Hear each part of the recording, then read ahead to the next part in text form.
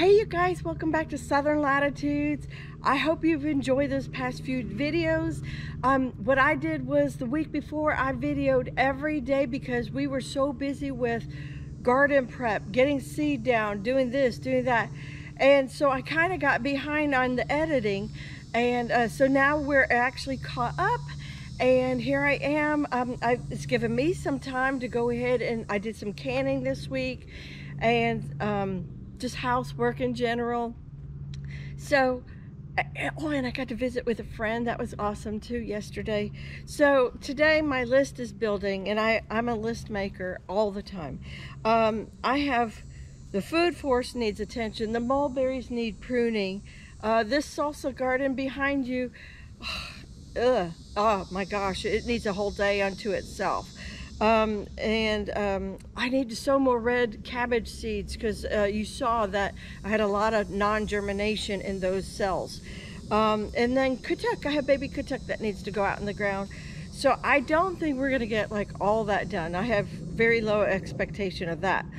But I do want to at least go to each section or two and pull out the worst, the ugliest of the what's going on in each area. For example, like um, the food forest, that, that walkway is just driving me nuts. Every time I walk in there, ever since the storm, it put down all the pine needles and then it also, the squirrels are eating the pine cones and dropping little bits down. It's driving me nuts. It needs a little bit of a, a lawnmower run through in a couple sections. So, um, you know, if I just like that's just one example. But if I just do one or two things in there, that prepares me for next week to really get at it hard. So, and over here I have uh, dead uh, zinnias that need to be pulled out. The, the hurricane killed them. So uh, if I can do that, pull the Spanish moss, we're good. And so um, also let me show you what else is going on. Right here, this is where I have all those onions. And um, we were doing really good until I fertilized. And guess what? When I fertilized, all the weeds got all that nitrogen too. And I had a, plus the rain from the hurricane. And I have had a massive explosion in here. And uh, this right here is just going to take a lot of little um, coming in and doing that. So I think if I can just get the first row started, then the next day I'll do the second row. So I'm thinking maybe this might be a two-day video and not just one um, because I'll have to work in and out of, um, you know, clouds, storms. Uh, we're supposed to get rain too later. Uh, I might have to do a clothing change because I'm in jeans for laying down on this dirt. But at some point, I'm going to have to go back into shorts because I can already feel I'm, the humidity is just incredible. You can hear the cicadas. So, all right, let's get to work.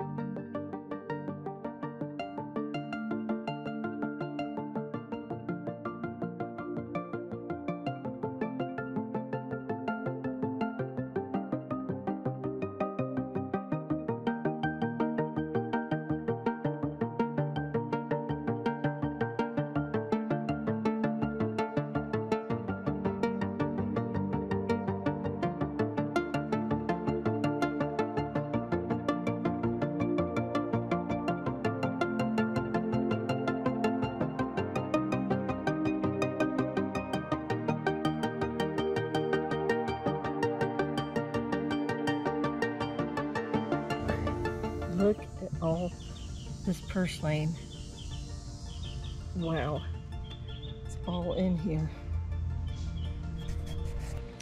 All right, so most all of this, you know, it's like 90, 95% weeded. I do have a little bit over here, but um, this right up here is a, um, a bee box and they were not happy with me being under here. So I got swiped over the head a couple of times. So I was like, okay, I'll wait till you go to bed and then I'll come out here and do that side. But for the most part, you can see this is looking really, really nice. Um, it, it could use a little hoeing in here. It could use a couple things. But for right now, if I don't run out of time, this is good, on, good enough. And I wanted to move on to the next project, which was the mulberry trees. I have dwarf everbearing mulberries. Um, and I gave them a healthy, healthy prune. And um, that one went way up there in the sky. I still see it. One more I've missed, huh? But, um, and then I used it a, a bit of as um, a chop and drop type of thing. Look what I found while I was doing all that pruning in here. That is a toothache plant. So I actually did plant this in the spring and I was like totally forgetting about that. So I had one remaining, made it through all the heat of the summer, no irrigation or anything. This is my jelly fig and I was hoping to see a little something might be going on but maybe not also maybe it's wishful thinking but I'm hoping next year's the year for my jelly fig and then while um, the camera's charging I just sent it inside for a little bit to charge the sweet almond was out of control as you can see there's a, a good lean to it I think the hurricane might have done that because it was so top heavy and I took all that top off of it. I'll have to come back with a stake when somebody else can stake it in for me and we'll pull that straight. But for right now, it's chop and drop around the nectarine and around the sweet almond. So that's good. Everything seemed to do pretty good through that storm. I'm really impressed. Um, of course, they're all staked, you know, so that was great. Even my, this peach tree this is the tropical sweet peach tree. Oh my gosh, it's only not even been a year here in, my yard. It's been like um, April. So six, seven months. It looks amazing. Okay, let's continue with the little knockoff jobs um, that were driving me nuts. So I need a broom and I'm gonna set you up so you can see me sweep the food floor.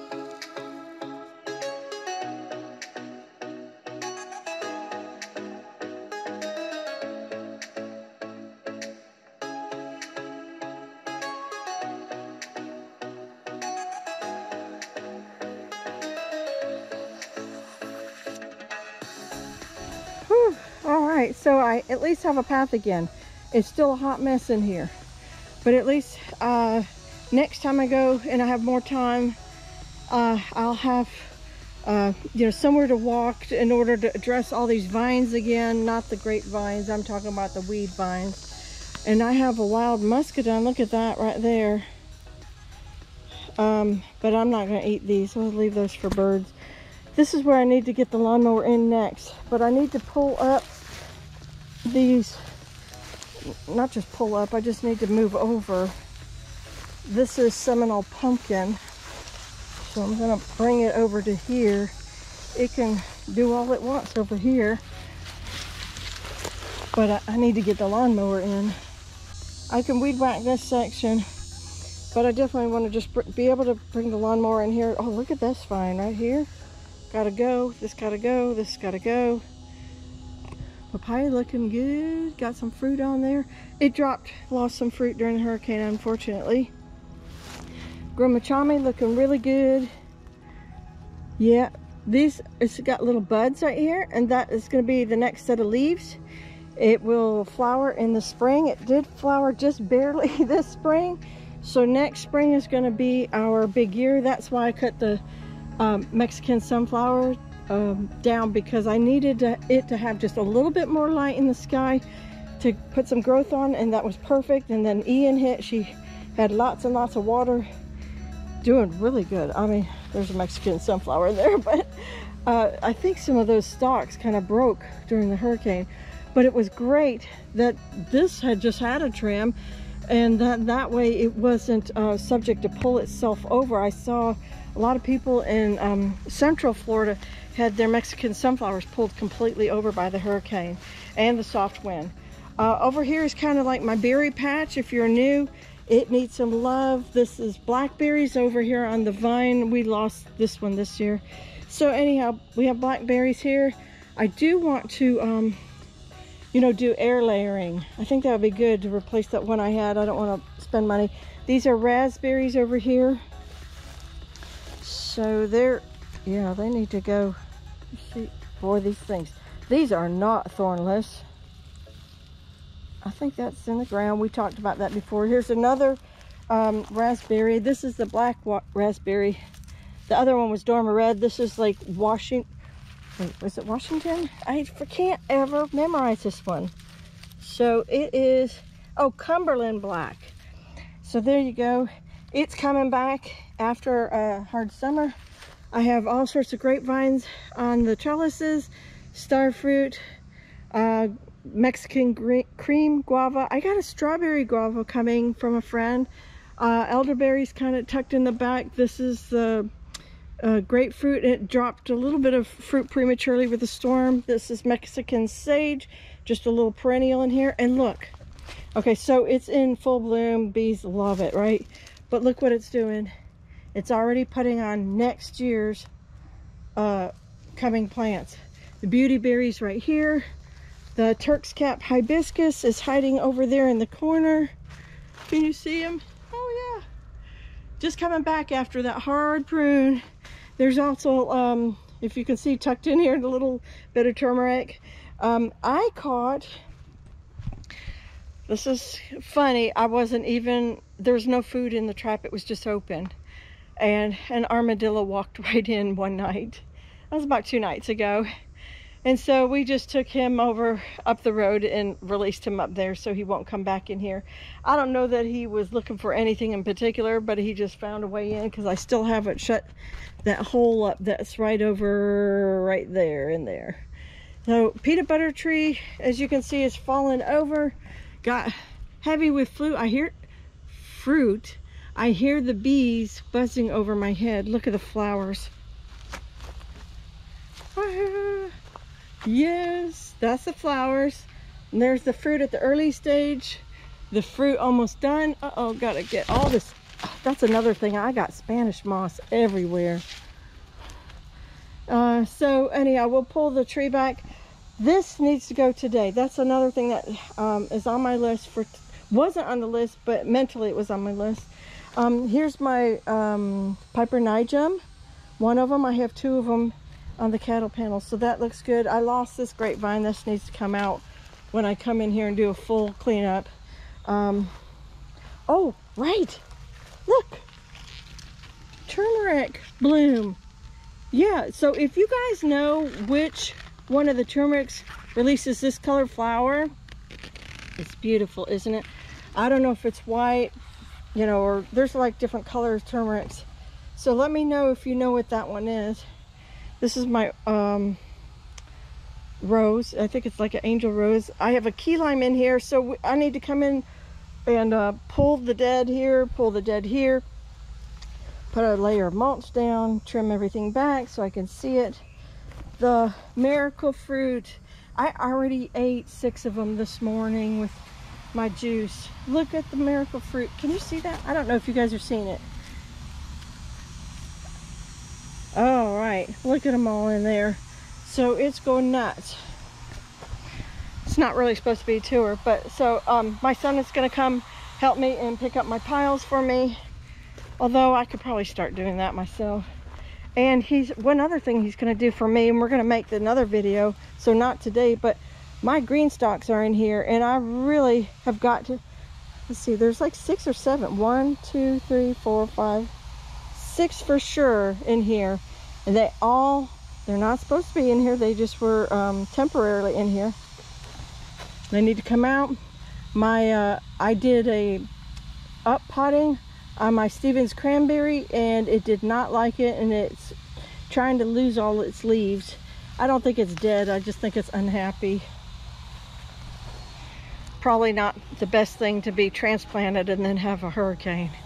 But um, so Katuk is next on my list and I want to put them back here by the chicken coop because I think they would be an excellent source of food for the chickens and they're going to stay kind of small. We'll keep them small and uh, pruned up. So I'm just going to put them in the back real quick.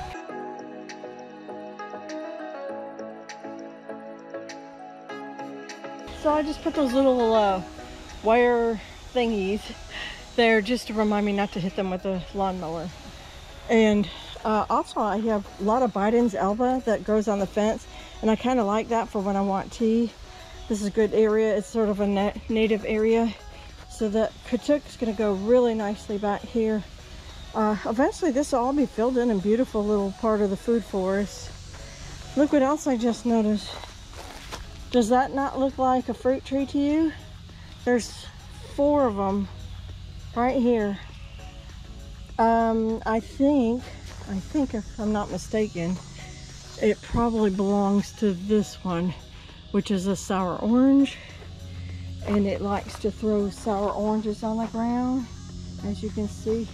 And I think it's, it just finally took root. Oop, I see you falling over. Let me help you so you can get rain today. Oh, look at the sweet potatoes. Gotta address those. Not today. That's actually, I'm gonna do a whole video just on salsa garden alone. Look, more Bidens alba. Yep. Um, excellent. Use it like chamomile. I put it in tea. Oh my gosh, it helped my sore throat right away. Lantana in a pot because you know they can get a little supposedly invasive, but I don't think so. I haven't seen that to be true yet.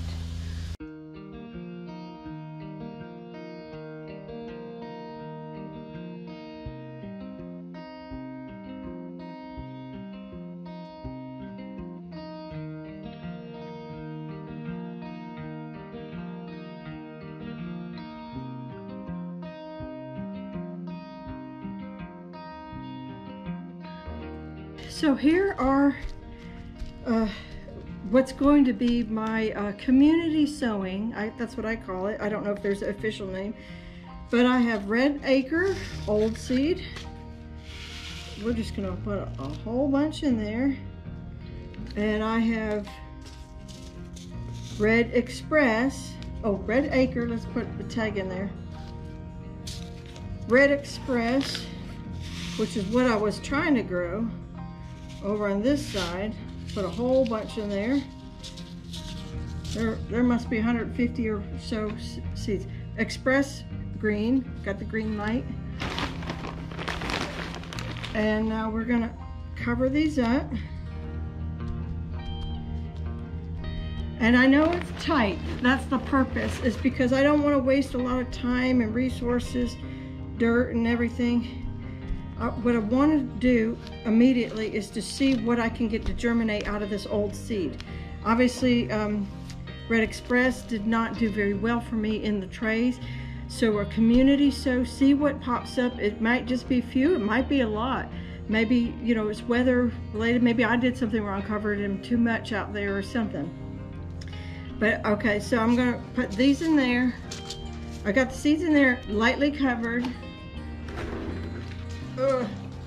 My hose broke, so I'm just going to carefully let that sink down. Yeah.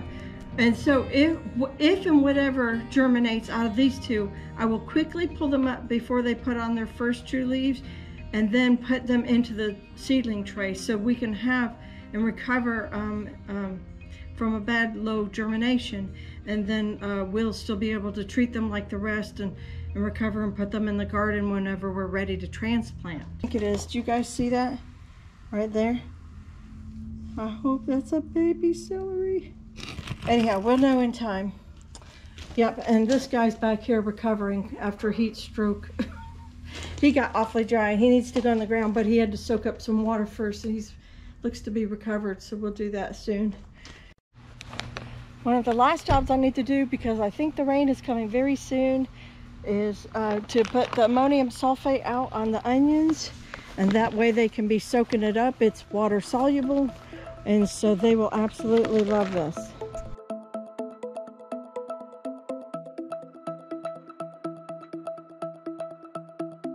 So that's it. I think the rain is right on our heels.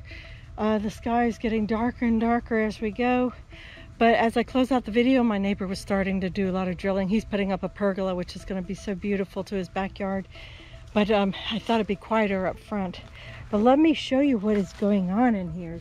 Do you see the babies? Uh oh something ate that one.